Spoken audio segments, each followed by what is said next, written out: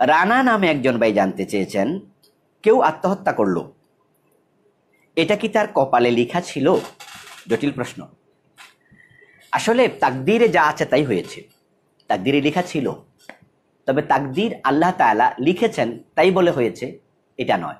লোকটা এটা করবে, আল্লাহ জানে, তাই তাকদির লিখেছেন। আমি আবার বলছি, যে কেউ আত্মহত্যা করল, কেউ চুরি করল, চুরি করতে গিয়ে ধরা মার- মায়ের খাইয়া মরে গেল কেউ বিদ্যুৎ হাত দিয়ে শখ করল, মরে গেল। এই জাতীয় ডাকাতি করল, ডাকাতি করতে গিয়ে মায়ের খাইলো, মরে গেল। এখন যদি কেউ বলে, তাকদির আছে এটা। এই জন্য হয়েছে তাহলে তো আল্লাহর দোষ হয়ে যাবে। তাকদির যিনি লিখেছেন, তাকে দোষী করা হলো। চোরের কোনো দোষ নাই, ডাকাতের কোনো দোষ নাই, বিষ খাইয়া মরছে ওর কোনো দোষ নাই। আসলে ব্যাপারটা হলো, আল্লাহ লিখেছেন, তাই হয়েছে।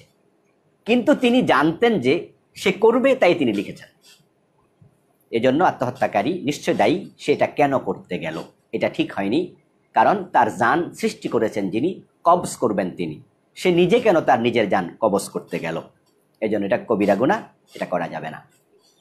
শামিমা নামে একজন বোন জানতে চেয়েছেন, নাতনিকে ঠাট্টা করে বউ বলা যাবে?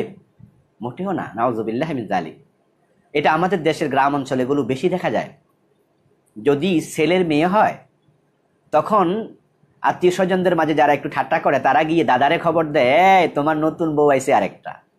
আস্তাক ফেরল্লাহ মেয়ে যেমন বিয়ে করা হারাম, মেয়ের মেয়ে বিয়ে করা হারাম।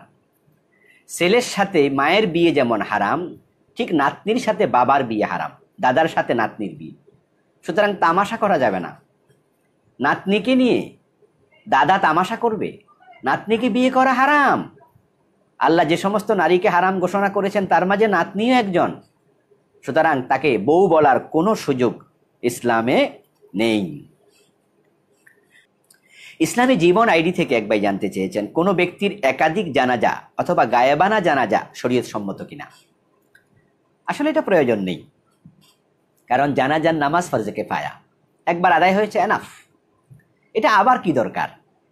আমাদের এটা আবেগের বিষয় আর কি। রাসুল্লাহ সাল্লাহ সাল্লাম গায়েবী জানাজার নামাজ পড়েছেন, বাদশাহ নাজাসির। তার মৃত্যুর খবর শুনেছেন রাসুল, গায়েবী জানাজা তিনি পড়েছেন। এর কারণ মহাদ্দিসগণ বলেন যে হাফসাতে উনার জানাজার নামাজ হয়তো হয়নি। আল্লাহর হাবিব এটাই মনে করেছিলেন যে জানাজার নামাজ হয়নি, তাই তিনি এখানে জানাজার নামাজ পড়েছেন। তো যদি কারও জানাজার নামাজ ব্যতীত কবরস্থ করা হয়, তাহলে তার কবরের পাশে দাঁড়িয়ে জানাজার নামাজ পড়া জায়েজ আছে, কবর সামনে নিয়ে। আবার দূর থেকে গায়েবি জানাজা পড়াও জায়েজ আছে, লাশ থাকবে না।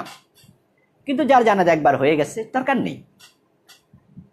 ওই গায়েবী জানাজার হাদিস দিয়ে নাজাসি আল্লাহর হাবিব পড়েছেন এটাকে দলিল হিসাবে দিয়ে কেউ কেউ গায়েবী জানাজার নামাজ পড়া জায়েজ বলছেন আর কি। কিন্তু যখন আমরা শুনব কারও জানাজা একবার হয়ে গেছে, তখন আর প্রয়োজন নেই, কারণ দোয়া যা করার হয়ে গেছে।